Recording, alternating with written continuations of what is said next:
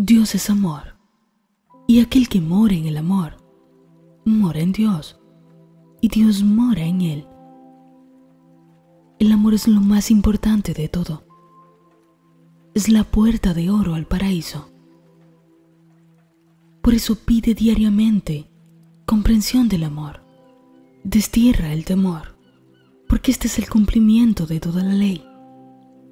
El amor cubre multitud de pecados y es absolutamente invencible. Los aspectos de Dios son el amor, la verdad, la vida, la inteligencia, el alma, el espíritu y el principio. Como ves, todos estos son aspectos, estados invisibles mentales. No los podemos ver ni tocar, pero si sentimos y apreciamos sus efectos, existen, actúan, son reales, son cosas y ninguno se puede negar. Amor se le puede llamar al carácter de Dios, el primer aspecto de Dios la fuerza más potente de todas las fuerzas, la más sensible.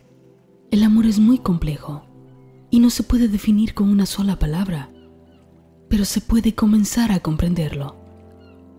Si estás atravesando alguna situación, ya sea con tu pareja, con tus hijos, familiares, amigos o conocidos, resuélvelo con amor. Resuélvelo con el amor divino.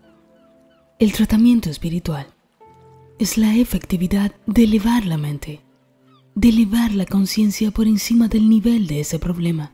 Esto se hace pensando en el amor divino. Para elevar tu conciencia tienes que quitar tu atención del cuadro material por el momento.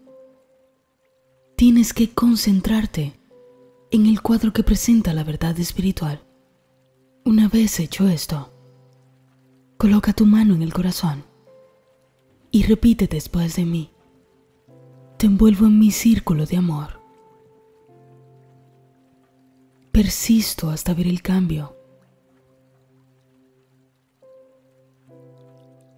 Te envuelvo en mi círculo de amor. Persisto hasta ver el cambio.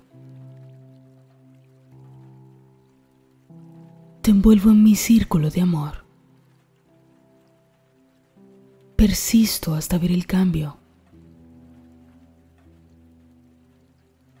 Te envuelvo en mi círculo de amor.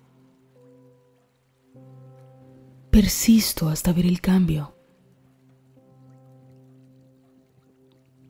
Te envuelvo en mi círculo de amor. Persisto hasta ver el cambio.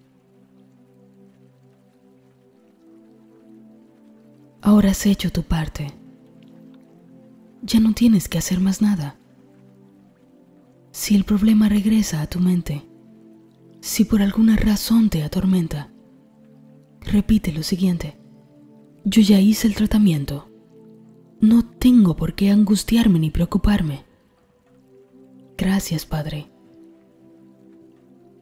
Cuando lo hagas, reafirma la demostración. Quédate con el regocijo.